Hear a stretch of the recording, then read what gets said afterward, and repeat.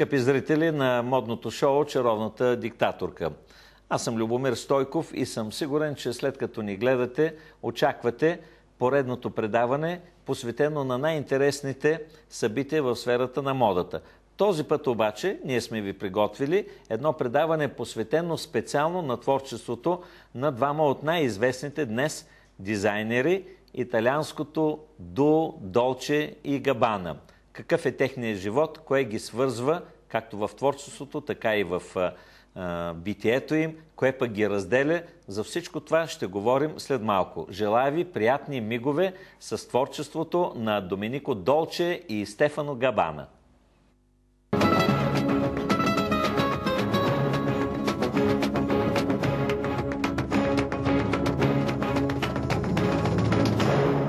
Любопитно е съавторството, сътворчеството, ако мога така да кажа, в сферата на модата. Тогава, когато двама дизайнери са отговорни за една и съща колекция. Как се разпределят задачите? Едни и същи ли са изворите на тяхното вдъхновение? Преплита ли се личния им живот с творческата им дейност? Всичко това ние ще научим от много любопитната, интересна, човешка и творческа биография на Долче и Габана.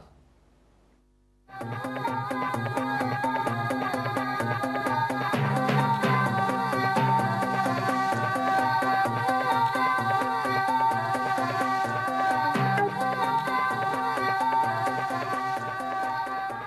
Доминико Долче е роден на 13 септември 1958 година в Полици Дженероса, близо до Палермо, Италия. Стефано Габана на 14 ноември 1962 година в Венеция, а според някои източници в Милано, Италия. Запознават се двамата в Милано през 1980 година, работейки за една и съща модна къща.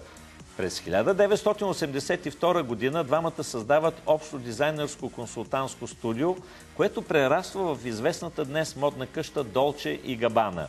Първата си дамска колекция представят в Милано през 1985 година, където следващата година, 86-та, откриват и първия си магазин – Две години по-късно лансират трикотажна линия, а през 1989 година започват да създават колекции бельо и бански костюми.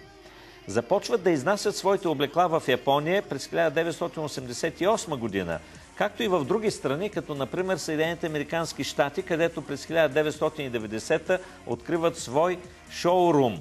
Същата година пускат в производство мъжките си колекции.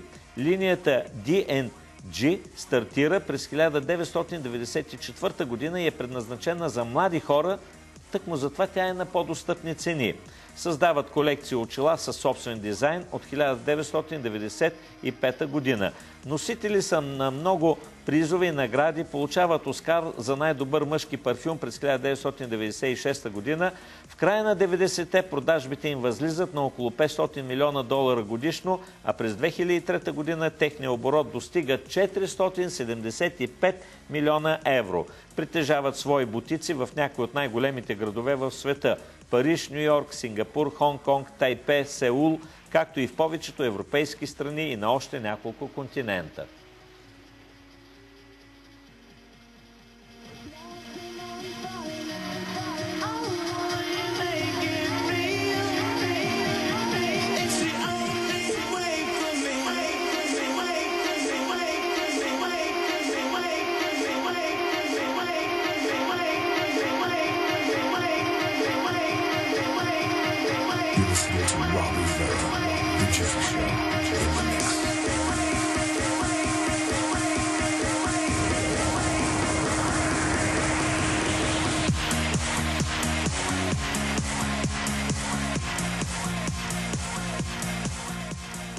Тандемът Доминико Долче и Стефано Габана е навярно най-успешният дует в световния моден дизайн.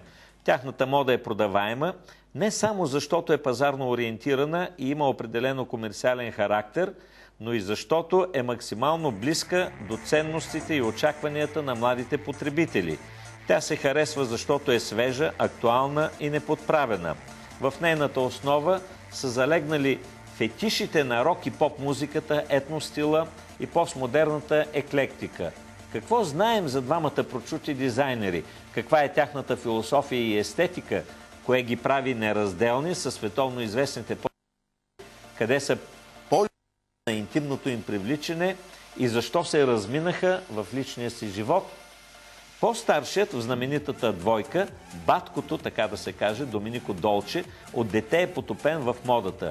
Баща му е бил шивач, а в последствие става притежател на малка фабрика за облекло в Милано. Майка му също е отдадена на модния дизайн и модния бизнес. Стефано Габана пък има образование по графичен дизайн. Когато се срещат в Милано, двамата са обединени от желанието да променят стила и представите на хората за елегантност.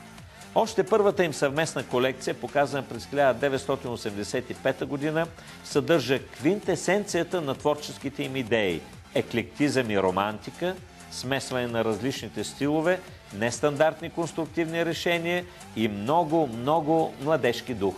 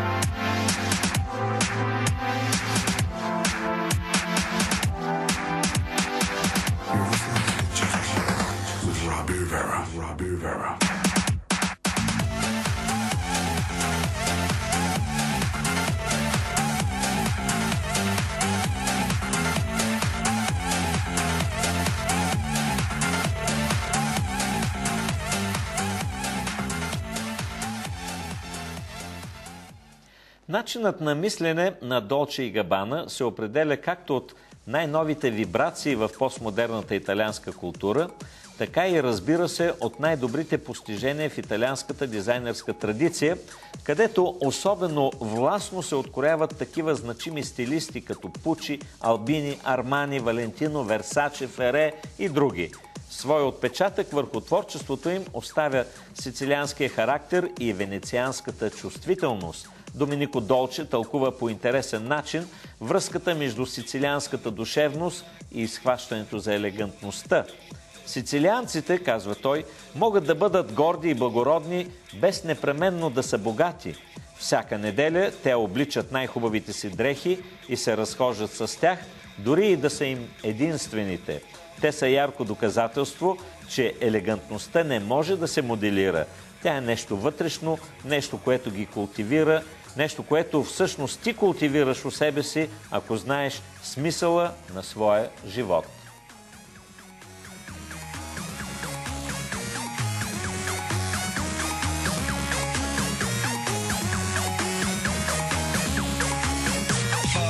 Before, before,